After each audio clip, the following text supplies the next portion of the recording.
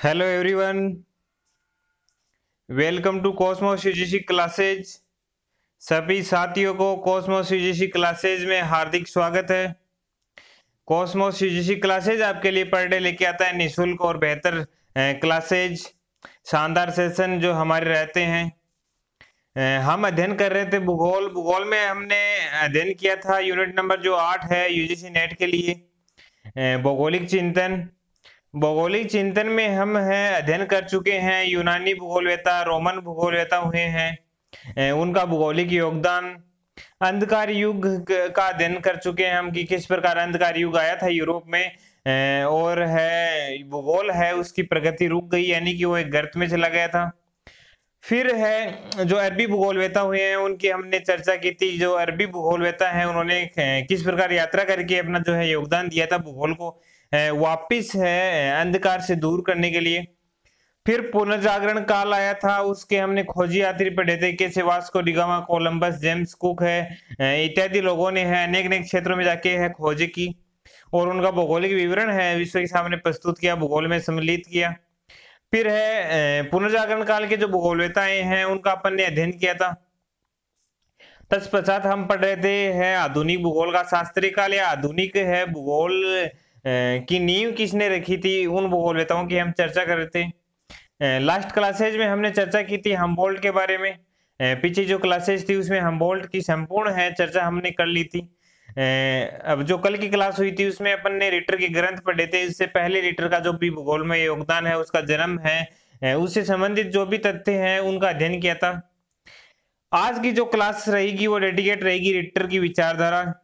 क्योंकि किसी है व्यक्ति को अगर समझना है तो उसकी सोच को समझना पड़ेगा चिंतन शक्ति है उसको उसको समझना पड़ेगा। उसकी विचारधारा को अपन को है जो समझना पड़ेगा, तभी हम उस व्यक्ति का जो है अध्ययन कर पाएँगे या उस व्यक्ति को समझ पाएँगे।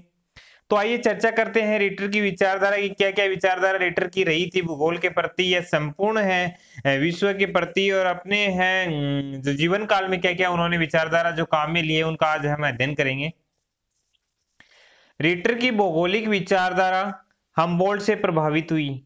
मतलब पहला कथन क्या है कि रिटर की जो भौगोलिक विचारधारा थी, भूगोल से संबंधित जो विचारधारा थी, वो हमबोल्ट से प्रभावित हुई। अब आपको पता है, मैंने पहले आपकी पिक्चर क्लियर कर दी कि हमबोल्ट से रिटर मिला था। उसने है, इसके ग्रंथ के लिए है एड बेसिवंग नामक है, जो शब्द है, सुझाया भी था। तो हमबोल्ट से प्रभावित हुई विचारधारा इसकी, जिसे स्वयं रिटर ने जो है स्वीकार किया है। कि रेटर ने भी माना है कि हाँ मैं थोड़ा हमबोल्ड से प्रभावित हुआ हूँ, उसके व्यक्तित्व से प्रभावित हुआ हूँ, उसकी विचारधारा से जो है मैं प्रभावित हुआ हूँ। यदि रीटर को जानना है तो उसकी विचारधाराओं को जानना आवश्यक है। ये बात मैंने पहले बता दी, अगर किसी व्यक्ति को अगर आपको जानना है तो उसकी विचारधारा को आपको जानना होगा। जब तक आप उसकी विचारधारा नहीं समझ पाओगे, उसके बारे में आप संपूर्ण अध्ययन नहीं कर सकते। तो इसलिए है रेटर को जाना है तो उसकी विचारधारा है कौन कौन सी विचारधारा उसने प्रयोग की है विचारधारा में क्या क्या रखा है, उसको जानना है जो आवश्यक है। पहली जो विचारधारा आती है रेटर की मानव केंद्रित विचारधारा। जो पहली विचारधारा कौन सी आती है रेटर महोदय की? मानव केंद्रित विचारधारा। आइए पढ़ते हैं, मानव केंद्रित विचारधारा क्या है? अब आपको सीधा समझ में आ रहा है कि मानव केंद्रित, यानी मानव केंद्र में इस विचारधारा में। मतलब उसको केंद्र में रखा गया, फिर अध्ययन किया गया है। तो ये मानव केंद्रित विचारधारा, इसके बारे में अपन संपूर्ण चर्चा करते हैं। रिटर का भूगोल मानव केंद्रित था। रिटर ने जो भी भूगोल के संबंध में लिखा या भूगोल लिखा है, वो क्या था? मानव केंद्रित था। उसके अनुसार भूगोल का उद्देश्य मानव केंद्रित दृष्टिकोण से मतलब कि भूगोल का उद्देश्य क्या होना चाहिए? मानव केंद्रित दृष्टिकोण से पृथ्वी तल का अध्ययन करना मतलब कि मानव को है बीच में, मध्य में रखकर, केंद्र में रखकर फिर संपूर्ण पृथ्वी तल का अपन जो अध्ययन करते हैं ऐसे अपना जो है उद्देश्य होना चाहिए, ऐसी अपनी विचारधारा होनी चाहिए, ये रिटर का मानना था। तथा उससे, उसमें मानव तथा प्रकृति को अंतर संबंधित करना मतलब कि मानव को केंद्र में रखना, ये बात अलग है कि मानव को केंद्र में रख के है जो है अपन अध्ययन करेंगे। लेकिन मानव और जो प्रकृति है मानव और जो प्रकृति के बीच में जो अंतर संबंध है उनके जो बीच में संबंध है, उनको अंतर संबंधित करना, उनको जोड़कर जो अध्ययन करना है, वही मानव केंद्रित दृष्टिकोण या मानव केंद्रित विचारधारा रेटर की थी। पृथ्वी मनुष्य के लिए तथा पर, मनुष्य पृथ्वी के लिए बना, उसका मानना था कि पृथ्वी जो है मनुष्य के लिए मतलब कि पृथ्वी तो मनुष्य के लिए बनी है। और मनुष्य किसके लिए बना है पृथ्वी के लिए बना है ऐसा रेटर का मानना था। जिस प्रकार शरीर की रचना आत्मा के लिए हुई है मतलब शरीर है, उसकी रचना आत्मा के लिए हुई है। आत्मा जो चाहती है वो काम करवाने के लिए शरीर की रचना हुई है। उसी प्रकार पृथ्वी का निर्माण भी मानव जाति के लिए हुआ है। ये रिटर ने कहा था कि जिस प्रकार एक जो शरीर है, एक बॉडी है उसकी जो निर्माण रचना हुई है, हाथ, पैर है, मुँह है, सिर है, इत्यादि जो भी है एक बॉडी के पार्ट्स हैं, उनकी रचना हुई है एक, है, आत्मा के लिए। कि इसमें आत्मा निवास कर सके और वो है, अपने कार्यों को है, अंजाम दे सके गति कर सके। इसके लिए एक शरीर की रचना हुई है तो उस, ठीक उसी प्रकार जो पृथ्वी है, प्रकृति है, उसका निर्माण भी मानव के लिए हुआ है। कि मानव है, अपने जो क्रियाकलाप वो कर सके। वरना अगर प्रकृति नहीं होगी तो मानव क्रियाकलाप करेगा कहाँ, रहेगा कहाँ? क्या क्या करेगा? कुछ भी असंभव नहीं है। तो इस प्रकार है, रिटर का मानना था कि पृथ्वी का निर्माण है, जो है मानव जाति के लिए ही हुआ है। पृथ्वी मानव की शिक्षण भूमि है। कि जो पृथ्वी है, वो मानव की क्या है? शिक्षण भूमि है। जो पृथ्वी है, वो मानव को शिक्षा देती है। रिटर ने पृथ्वी को मानव के घर के रूप में माना है। मानव ग्रह के रूप में है, मानव घर के रूप में है, जो रिटर ने है, पृथ्वी को माना है। प्रकृति को माना है। नेक्स्ट विचारधारा अपन चर्चा करते हैं, विकासवादी विचारधारा। अब जैसा कि नाम से ही विदित है, विकासवादी विचारधारा। मतलब विकास के लिए जो विचारधारा काम में ली जाती है, किसी विकास किसी भी चीज़ का हो सकता है। विकास हो सकता है, प्रकृति का विकास हो सकता है, मानव का विकास हो सकता है, आपके शरीर का विकास हो सकता है चैनल का विकास हो सकता है कि किस प्रकार पहले मतलब है छोटे स्तर पर और निम्न क्वालिटी के साथ में अध्ययन करवाया जाता था।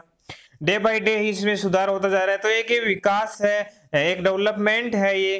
तो विकासवादी विचारधारा की अपन चर्चा करेंगे। रिटर के विचार विकासवादी रहे हैं।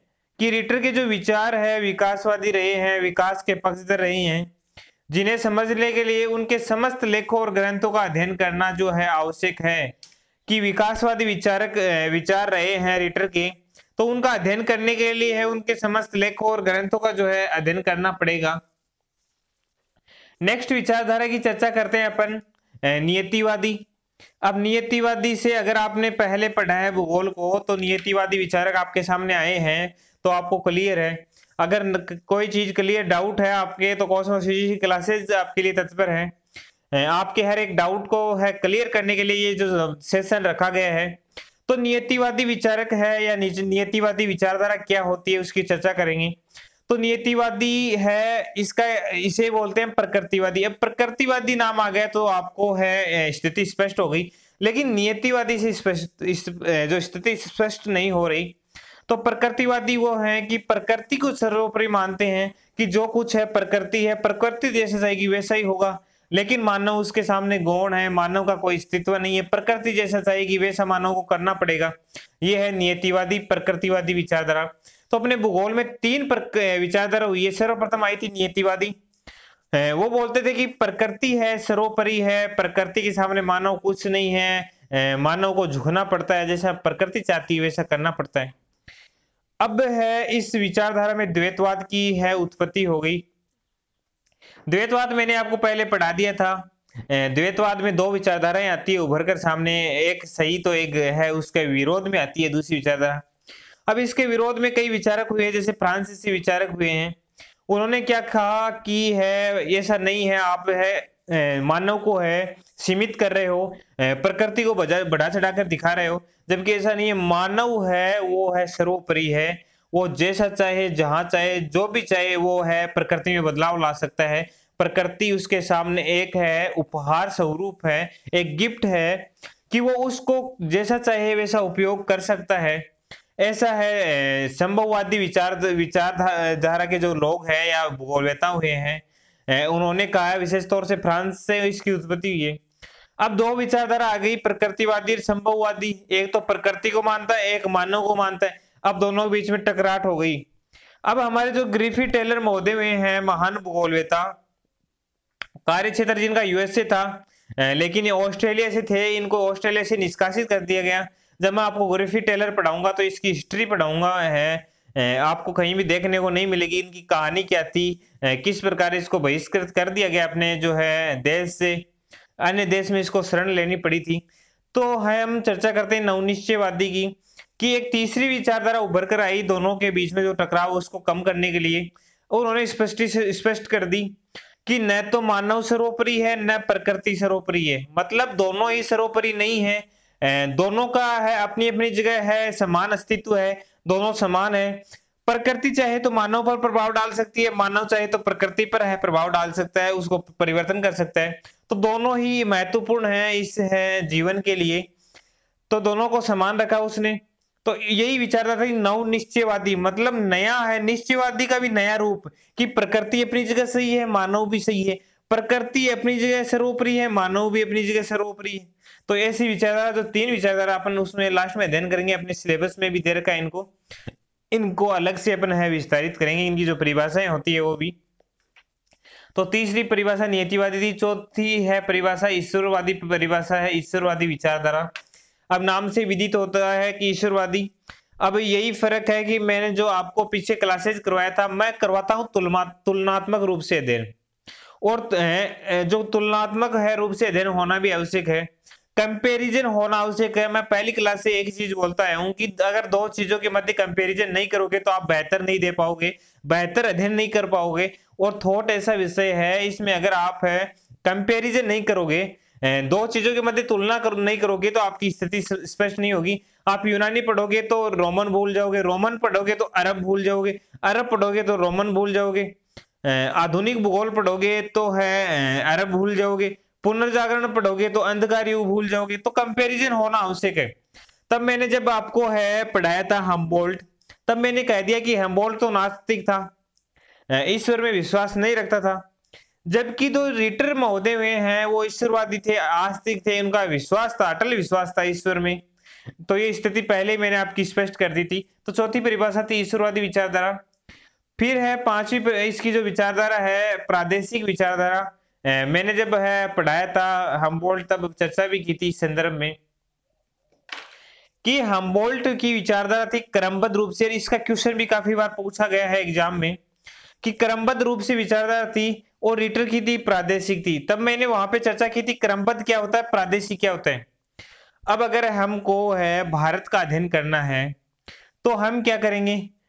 भारत का संपूर्ण अध्ययन करेंगे। ऊंचाई, तापमान है जो जलवायु है या है वहाँ पे जो है सम विषम जलवायु स्थिति। और है पर्वत पठार मैदान। उसकी संपूर्ण अध्ययन करेंगे। दूसरी तरफ़ प्रादेशिक क्या होता है? प्रादेशिक अगर हमें भारत का अध्ययन करना है तो हम क्या करेंगे? उसको अलग अलग पार्टों में डिवाइड कर लेंगे। जैसे पश्चिमी घाट पूर्वी घाट को कर लिया, फिर है प्रायद्वीपीय भारत को कर लिया, उत्तर का मैदान को कर लिया पर्वतीय प्रदेश को कर लिया। अब वहाँ पे हम अध्ययन करेंगे। अब जैसे अपन ने एक है जो है प्रादेशिक, एक प्रदेश लिया है। क्या लिया? दक्षिण का प्रायद्वीपीय पठार। तो वहाँ पे पर्वत, पठार फिर वहाँ पे कौन कौन सी नदियाँ है? तापमान, जलवायु, उसका संपूर्ण अध्ययन करेंगे। एक प्रदेश का संपूर्ण अध्ययन करेंगे। जबकि क्रमबद्ध में क्या होता है कि जो संपूर्ण क्षेत्र है, उसको हर एंगल से है, जो है अध्ययन, उसका जो है किया जाता है। वही क्रमबद्ध है कि क्रमबद्ध रूप से हर चीज़ का उसको पार्टों में डिवाइड नहीं किया जाता। मतलब उसका विश्लेषण नहीं किया जाता, एक संश्लेषण रूप का ही है, अध्ययन किया जाता है। जबकि प्रादेशिक में उसका विश्लेषण करके, उसको पार्टों में डिवाइड करके फिर उसका अध्ययन किया जाता है तो वो है प्रादेशिक। आइए पढ़ते हैं प्रादेशिक विचारधारा में क्या कहते हैं रेटर। रेटर भौगोलिक अध्ययन में प्रादेशिक अध्ययन पद्धति का प्रयोग करता है। कि जो रेटर है, वो भौगोलिक है, अध्ययन में, प्रादेशिक अध्ययन पद्धति का प्रयोग करता है, ये आपको ध्यान में रख लेना। प्रादेशिक विचारधारा तो आपकी है 99 परसेंट है, पूछा जाती है। एग्ज़ाम में हर बार इसका क्वेश्चन आता है, मिलान वाला क्वेश्चन आता है, मैं करवा दूँगा आपको कि किस टाइप का इसका क्वेश्चन पूछा जाता है। उसने प्रादेशिक अध्ययन के लिए लांडर कुंडे शब्द का प्रयोग किया, अब इसकी पुस्तक भी थी लांडर कुंडे तो प्रादेशिक अध्ययन के लिए इस शब्द का जो है प्रयोग किया था, जिसका अर्थ होता है प्राकृतिक प्रदेश मतलब इस जो लांडर कुंडे शब्द है इसका है अर्थ होता है प्राकृतिक प्रदेश। अब अर्ड कुंडे, लांडर कुंडे, या इत्यादि शब्द जर्मन शब्द है। जर्मन शब्द है तो अपन को थोड़ा ऐसे लग रहे हैं कि सर ये कहाँ से आगे वर्ड्स है जो अर्ड कुंडे हैं, याद ही नहीं होते। लेकिन आप इसको रिवाइज करोगे, आप अभी क्लास ले रहे हो, उसके बाद में है, आप इनके नोट्स बनाओ। नोट्स को रिवाइज करो। अगर आपके कोई कॉन्सेप्ट क्लियर नहीं होते तो बार बार जो क्लासेज अपनी है प्ले लिस्ट में अवेलेबल रहती है, आपके पास में जो है हरदम है प्ले लिस्ट में अपनी जो हर क्लासेज अपलोड रहती है तो वहाँ से आप जाके इनको जो है देख सकते हो। वहाँ पे आप अपनी है जो डाउट है या जो आपको है समझ नहीं आ रहा, दोबारा से कर सकते हो। अगर फिर भी आपको जो कोई डाउट होता है तो आप हमारे कमेंट बॉक्स में कमेंट भी कर सकते हो। नेक्स्ट सेशन में उसकी जो हम चर्चा करेंगे, और चर्चा करेंगे तो आपका सॉल्यूशन वहाँ पे आपको जो दिया जाएगा। तो नेक्स्ट विचारधारा इसकी है अनुभाविक अब अनुभाविक विचारधारा है तो आपको स्थिति स्पष्ट हो रही होगी। कि ये तो अनुभव से है, होने वाली विचारधारा की अनुभव करना होगा किसी चीज़ अगर कोई भी है अध्ययन करेंगे उसका। तो रिटर भूगोल को अन्य विज्ञानों की तरह सिद्धांतों पर आधारित न मानकर कि केवल सिद्धांत ही नहीं है इसमें अनुभाविक मानता है कि जाकर देखो और देखकर विश्वास करो कि कोई है, चीज़ अध्ययन योग्य है या नहीं, ऐसे भूगोल के जो है, विचारधारा चलती है। कि जाकर आपको देखना है कि अध्ययन करने योग्य कोई चीज़ है। ऐसे नहीं कि उसने कह दिया कानों सुनने पे विश्वास नहीं करता भूगोल। आँखों देखी पे विश्वास करता है। आँखों देखने के बाद में भी जो अन्वेषण खोज करते हैं, उन पे जो भूगोल विश्वास करता है, अब जो है कानों सुनी बातें तो है 99 परसेंट अफवाह भी हो सकती है। कोई एक परसेंट उसमें सत्यता हो क्या पता चलेगी सत्यता है या नहीं है। लेकिन जो आँखों देखी है, विचारधारा है या जो भी है, खोज आँखों देखी, कोई भी चीज़ का अवलोकन करते हैं तो वो है, उसको प्रमाणित कर सकते हैं कि ये सत्य है। अर्थात उसके अनुसार भूगोल शुद्ध अवलोकन का विषय है कि भूगोल है, उसको अवलोकन करना चाहिए, शुद्ध अवलोकन का है जो विषय है। इस संदर्भ में वह लिखता है कि यदि पृथ्वी के बारे में ज्ञान प्राप्त करना है, कि पृथ्वी के बारे में अपन को जानना है तो स्वयं पृथ्वी से ही पूछताछ करनी पड़ेगी।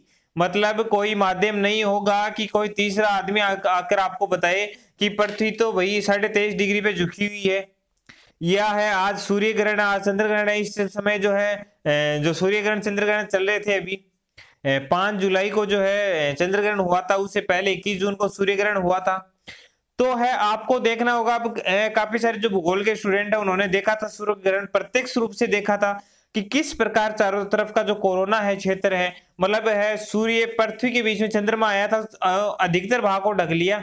और चारों तरफ़ की जो है, एक जो है रिंग नुमा आकृति जो पृथ्वी से दिखाई दी थी हमें तो जो विद्यार्थी, जो सीरियस विद्यार्थी थे, उनको जानना था उसके बारे में, उन्होंने जो उसका अध्ययन किया।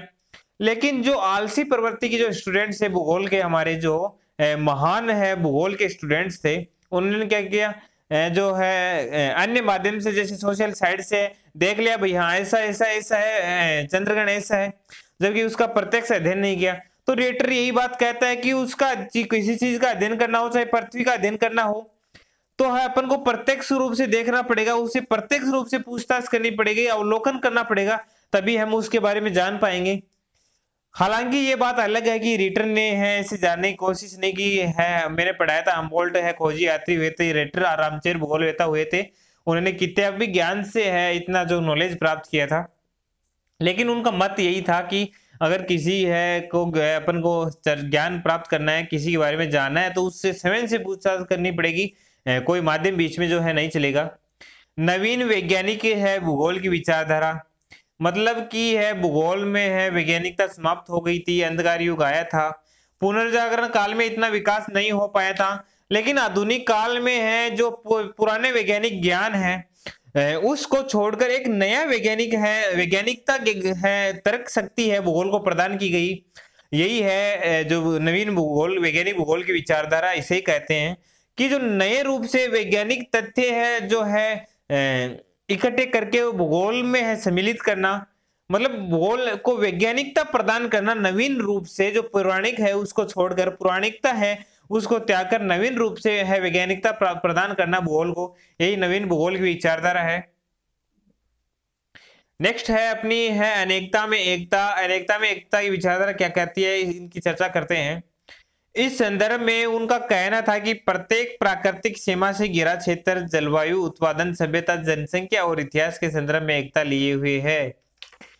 कि जो प्रत्येक प्राकृतिक सीमा से घिरा हुआ क्षेत्र, चारों तरफ़ प्राकृतिक सीमा है, से घिरा हुआ कोई क्षेत्र है, उसमें जलवायु, उसकी उत्पादन क्षमता, वहाँ की सभ्यता रहन सहन संस्कृति कैसी है, वहाँ की जनसंख्या, वहाँ के इतिहास है, वो है, एकता लिए हुए है, एकजुट लिए हुए है वहाँ पे है अनेकता में जो है, एकता पाई जाती है। अनेकता ऐसी है कि वहाँ पे डिफरेंट डिफरेंट टाइप के है जो है, जलवायु उत्पादन सभ्यता पाई जाती है। लेकिन फिर भी वो क्षेत्र एकजुट है, एक रूप से समान रूप से उसका जो है दिन किया जाता है। यही इस विचारधारा का है अर्थ है। नेक्स्ट है, मानव प्रकृति संबंधों की विचारधारा। अब आपको है स्पष्ट हो रहा है कि मानव और प्रकृति की जो संबंध है उनकी विचारधारा। कि जो मानव और प्रकृति के जो वास्तविक संबंध है और है एक दूसरे से अंतर संबंधित है, दोनों के संबंधों के बिना है, इसका जो है जो प्रकृति और मानव का अध्ययन करना मुश्किल है तो इस संदर्भ में उसने अपनी विचारधारा प्रस्तुत की। तो हमने अध्ययन किया, एक बार दोबारा देखते हैं अपन ने, और आपको एक है, मैं बताना चाहूँगा कि विचारधारा का पर्सन ऐसे नहीं आएगा कि मानव केंद्रित विचारधारा को समझाइए। जैसा कि आपको पता है अपनी एग्ज़ाम में ऑब्जेक्टिव क्वेश्चन आने भूगोल से आने सौ क्वेश्चन फ़र्स्ट पेपर से आने पचास क्वेश्चन सारे ऑब्जेक्टिव आएँगे टाइम रहेगा तीन आवर का। तो यहाँ पे अपन को थ्योरी नहीं लिखनी है थ्योरी मेरे पढ़ाने का मकसद यही था कि आपको चीज़ क्लियर होनी चाहिए। अपन को ऑब्जेक्टिव टाइप क्वेश्चन की चर्चा करनी है उन पर फोकस करना है। तो आपको है क्वेश्चन इस टाइप से पूछा जाएगा कि इनमें से है हाँ, हम वो इसकी रिटर की विचारधारा नहीं है। या रिटर की विचारधारा है, तीन गलत दे दी, एक सही दे दी, तीन सही दे दी, एक गलत दे दी।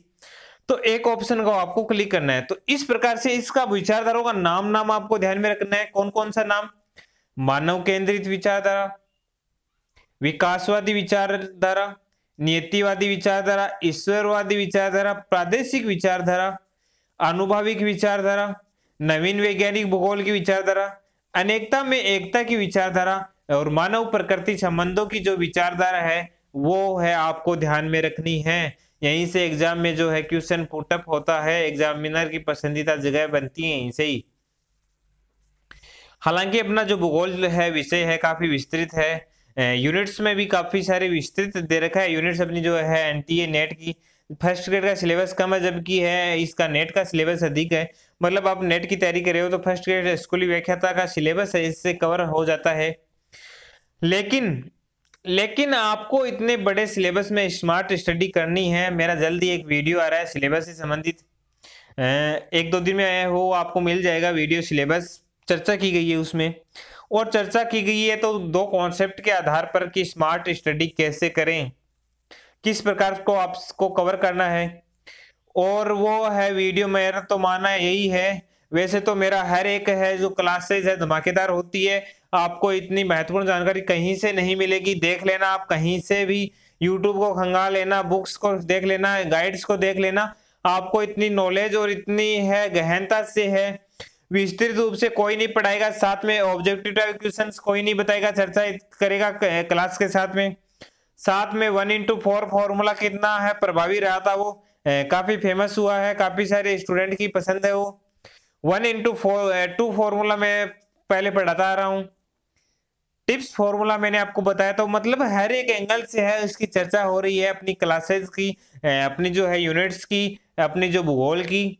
तो आप है वीडियो को है, देखते रहिए रेगुलर बेसिस पे देखिए, आनंद लीजिए।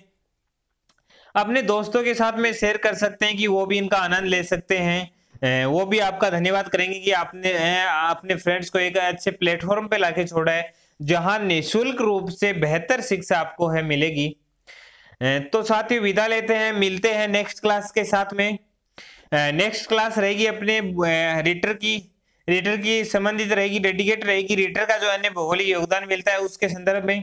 और कल की क्लास में अपना रेटर कंप्लीट हो जाएगा, फिर अपन रेड जेल स्टार्ट करेंगे। रेड जेल भूगोलता का भी काफ़ी योगदान मिलता है। हमबोल्ट रेटर और रेड जेल आधुनिक भूगोल का शास्त्रीय काल में तीनों है। तीनों है हीरो भूगोलता हुए हैं। मतलब महान विचारक, महान भूगोलता हुए हैं। हर इनकी जो योगदान मिलता है, वो भी काफ़ी विस्तृत है। तो चलो साथी, विदा लेते हैं, मिलते हैं नेक्स्ट क्लास से। साथ में तब तक की धन्यवाद बाय